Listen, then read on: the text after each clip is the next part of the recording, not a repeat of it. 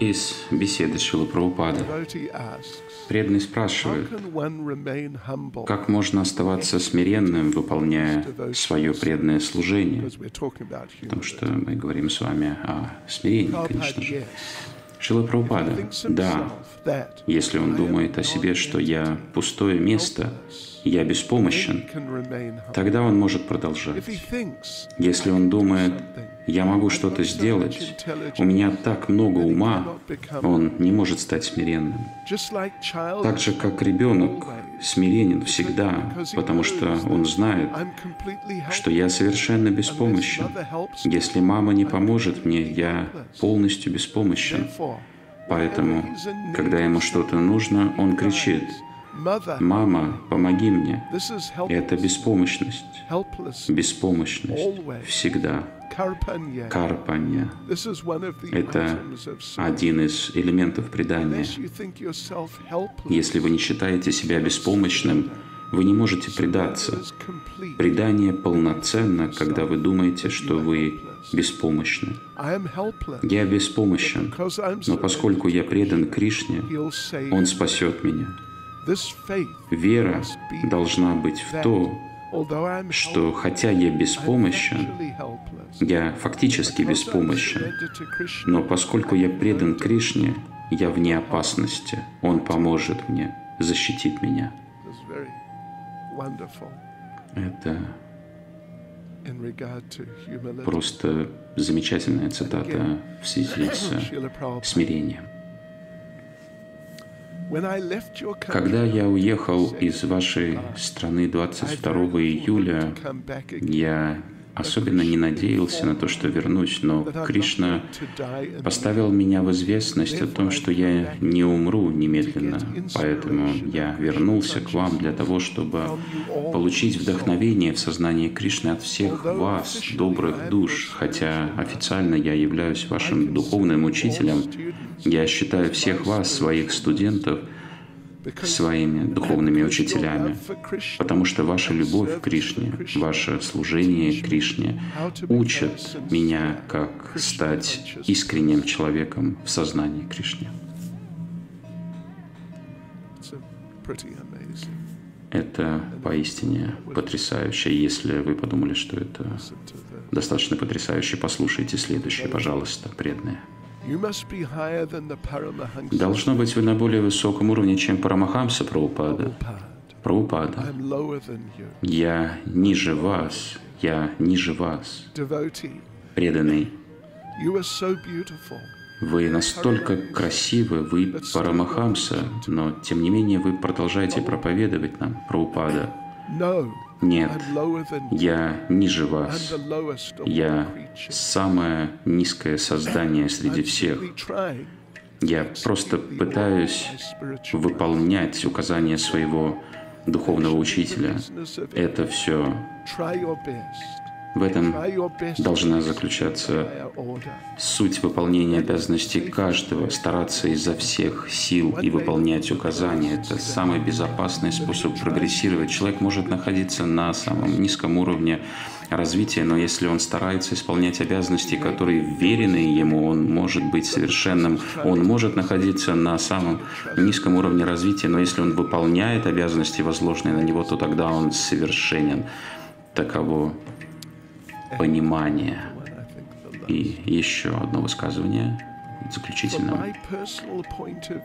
Лично с моей точки зрения, я считаю, что я настолько греховен, что я не могу даже приблизиться к Кришне и попросить его оказать какую-то благожелательность мне. Но моя единственная надежда — это мой духовный учитель. Он очень добр. Так или иначе, Он тянет меня назад к Кришне. Такова моя единственная надежда. Шри Чайтанья Чаритамрита говорит, Гуру Кришна, по милости духовного учителя и по милости Кришны, человек встает на путь сознания Кришны. Нарада Муни, наш изначальный духовный учитель, и он тянет назад Кришне такое множество падших душ, и мы также надеемся, что и нас Он тоже затянет через Парампару. В противном случае, если мы оценим свою квалифицированность, то поймем, что никакой квалифицированности нет, напротив, есть только пороки. Таковы личные слова Шила Прабхупады. Есть гораздо больше, на самом деле, это лишь небольшое количество цитат, в которых Шила Прабхупада выражает свой уровень смирения таким образом. Если у вас есть книги Шилы Прабхупады в электронном виде на компьютере, вы можете поискать и найти еще больше потрясающих цитат, высказываний Шилы Прабхупады в которых Шила Прабхупада выражает чрезвычайный уровень смирения. Для нас понимание должно быть таковым.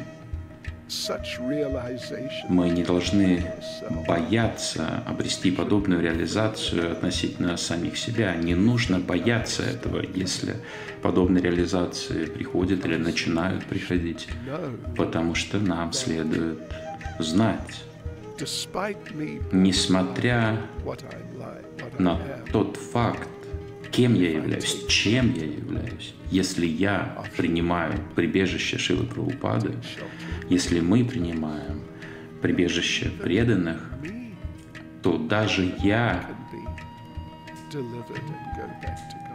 могу обрести освобождение и отправиться домой назад к Богу. Преданные, находящиеся на запредельном уровне смирения, состояния сознания и осознавая свои недостатки в достаточно четкой форме, тем не менее, преданный может сохранять энтузиазм. Чрезвычайный уровень энтузиазма может быть присущ такому преданному, и уровень вдохновения – Уровень счастья в сознании Кришны может быть присущ такому преданному. Никакого противоречия нет, но люди могут подумать, что противоречие налицо.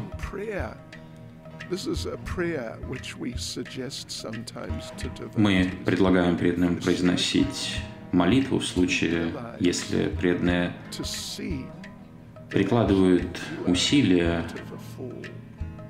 осознании того факта, что преданный является глупцом и у них ничего не получается, с большим уважением к преданным мы говорим об этом. Если преданный действительно прикладывает усилия в этом направлении, у него ничего не получается, в осознании того факта, что «Боже, я ведь глупец», эта молитва может помочь. Это просто идея. Мой дорогой Господь Кришна, мой дорогой Шила Прабхупада, я знаю, что я глупец. Но проблема в том, что я настолько глуп, что я даже не могу понять, насколько я глуп.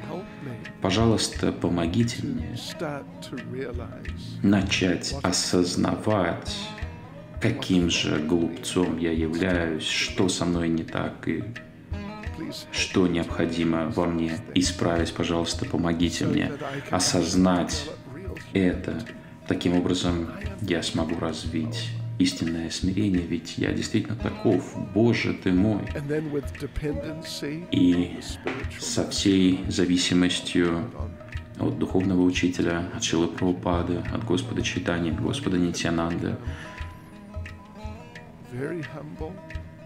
Человек может стать смиренным в естественном смысле, не просто двигаться на хайпе «я дурак, я дурак, я дурак, я дурак, я дурак», и таким образом промывать мозги самому себе этой хайпанутой идеей.